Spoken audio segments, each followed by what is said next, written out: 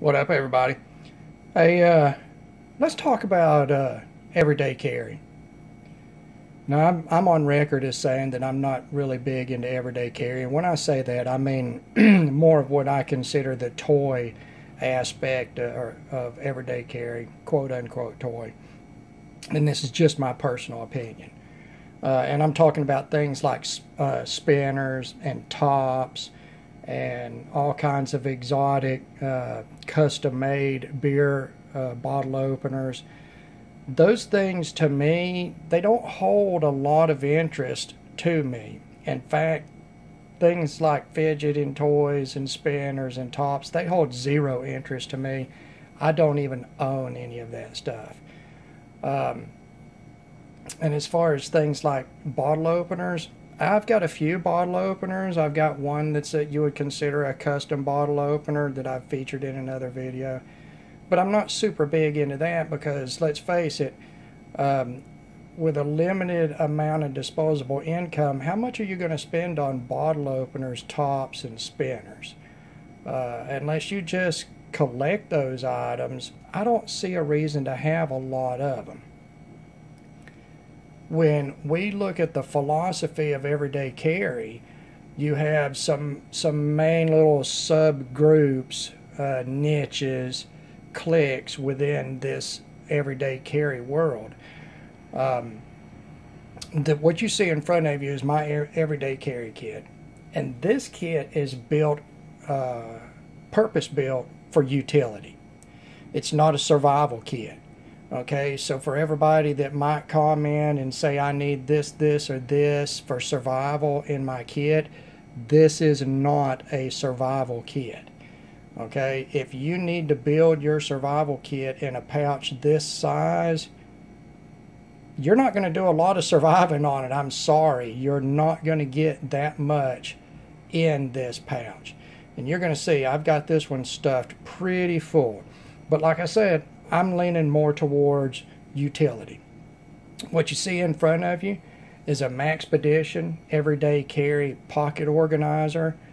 Um, the model number is 0246B, I'm assuming for black.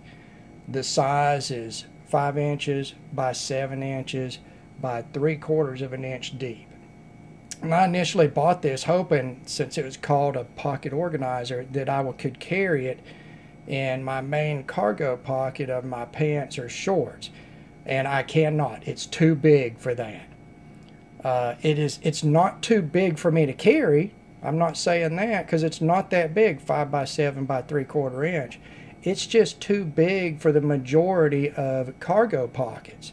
And typically I wear uh, LA police gear tactical shorts or pants they have a, a big cargo pocket. They're tactical pants. And this pouch will still not fit. It is too big for the cargo pocket.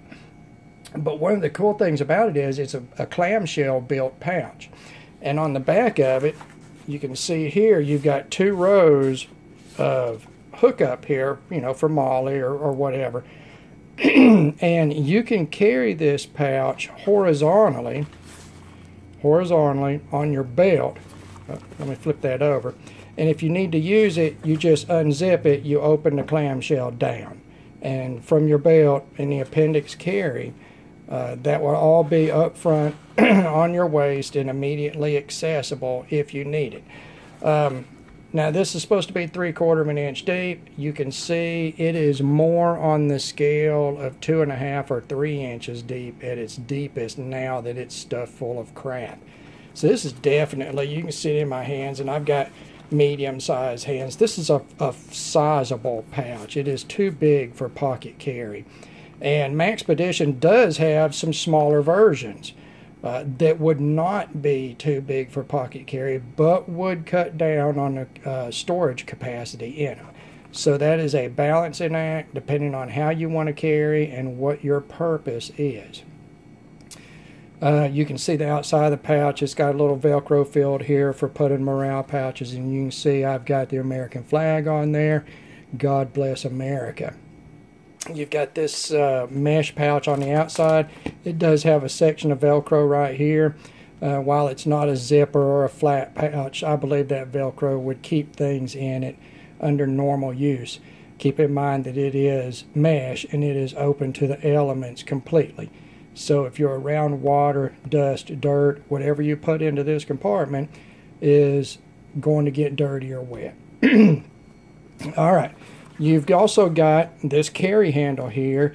And, and with my Express, the way that I plan on carrying it, which is appendix carry up front, I, that handle is not really useful to me, and I feel like sometimes it gets in the way. It's a little floppy.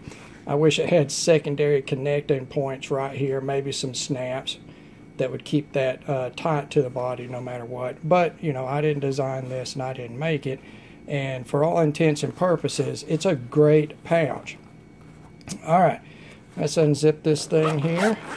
And we're going to go through what my everyday carry kit is. And keep in mind, this is built for utility because everyday life, 99.9999999 infinitely repeatable percentage of people do not face at least in the United States. Let me preface this by saying I'm going to talk about the United States because that's where I live.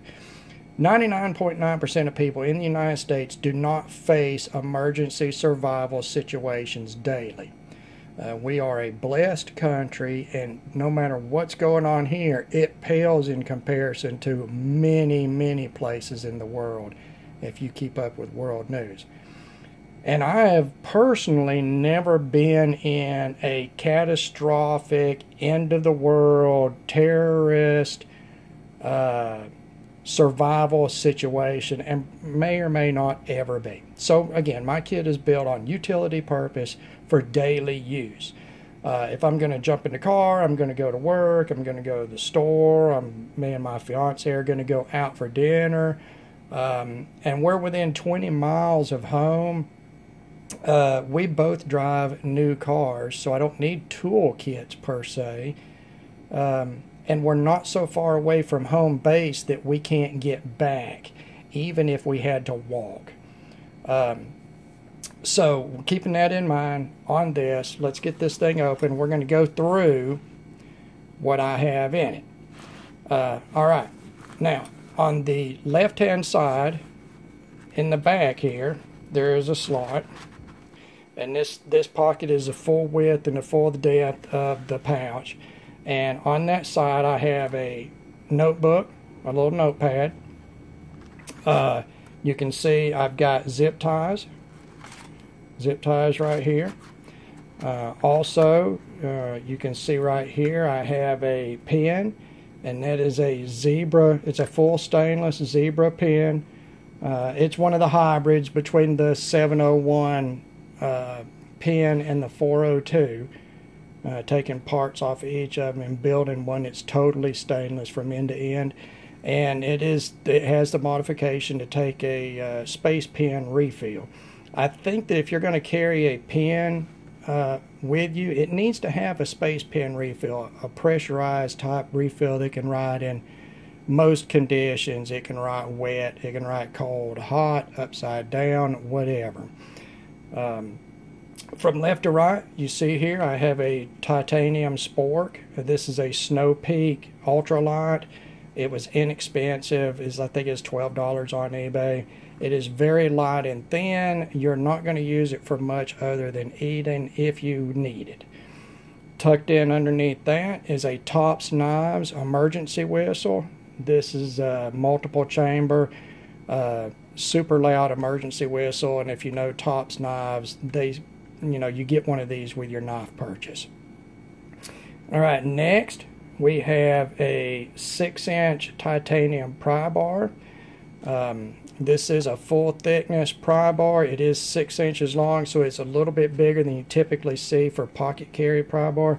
This one in particular is made by Maverick Customs.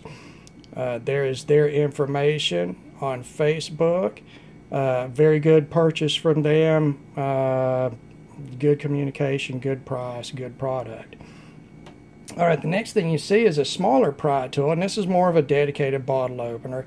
And uh, this is a Brad Southard Rhino pry. And Brad is a, a, custom maker, and I bought this Rhino Pry years ago. Um, I, honestly, I can't even remember where. I was really active on uh, Usual Suspect Network at the time, and Mr. Southard was really coming on the scenes, and I picked that up. The next thing you see here is uh, Klein's electrician's uh, shears, scissors. And uh, they are small, compact, they're carbon steel that's nickel plated. They have uh, wire stripping notches in them. They have a type of very fine, very fine serrated type of edge that you find on very high quality scissors and these scissors are fantastic. Great cutting ability in a compact package. The next thing you're going to see is the True Utility Micro Driver. Uh, now I did a video on this. I'm going to pull that out real quick. And uh, what that is, is it's a little micro driver. The bits self-store in the body. It's got two uh, Phillips head and two flathead bits. You can see the slot on the end you can use a key or a coin. You can see I've drilled out a coin here and put it on a split ring to keep it all attached. And you just slip that down in that slot and you use it to turn it for uh, leverage and for torque. All right. And that's a cool little tool. I did a video on that that I wish more people would have seen because you can pick one of these up for less than $10 on eBay. And uh, that's a pretty decent deal. And if you're wondering about that rubber cap, that's actually a rubber mouthpiece cover that vapers use on their uh, vape units. So uh, we've got that in there. So on the left hand side, you've got your writing utensil and material. You've got uh, zip ties. You can eat. You can uh, do emergency signals with the whistle. You can pry open bottles. You can cut with scissors. You've got a screwdriver. And let's not forget right here, we've got about 25 feet of duct tape. And that is just rolled up on a cardboard core. It's nice and flat and tucks in right in here and it's not going to go anywhere. So you've got a lot of ability on this side of the pouch. Now we're going to go to the right hand side. First thing you see up front, fire. We've got a little Bic Mini uh, in here, and if we ever do need to make fire, we can. Again, it's not a survival kit, so I'm not carrying multiple ways of making fire. I just need this one.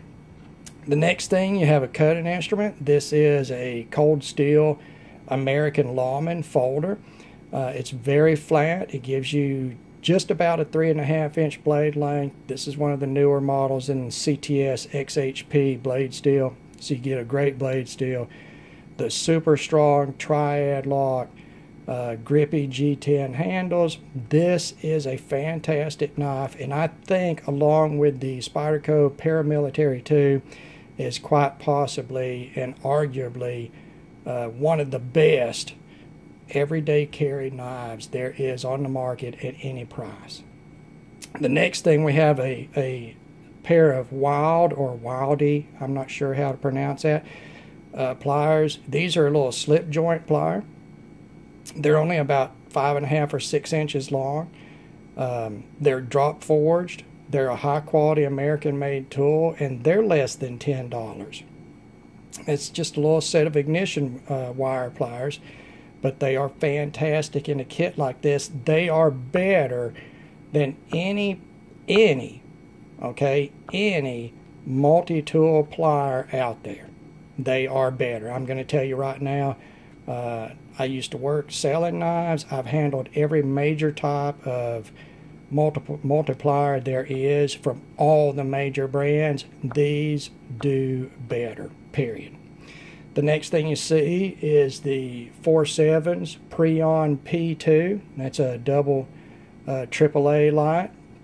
It's uh, two output levels with a max of 220 lumens. All right, back behind in the main compartment on this side, you're going to see a first aid kit, and it's just a very small, very thin plastic container. It came for free with a, a, bigger first aid kit, and I've got that stuff with just the basics uh, band aids, neospore, and some uh, um, bandages, um, some tape. There is Benadryl, Advil, Tylenol in that kit, a pair of tweezers, just very basic, very compact kit. Uh, the only thing I'm lacking in it is maybe some uh, water purifying tablets, which will get put in there.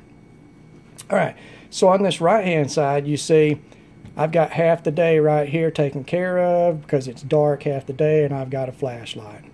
Uh, I've got a pair of pliers, I've got a knife, got a source of fire, got first aid.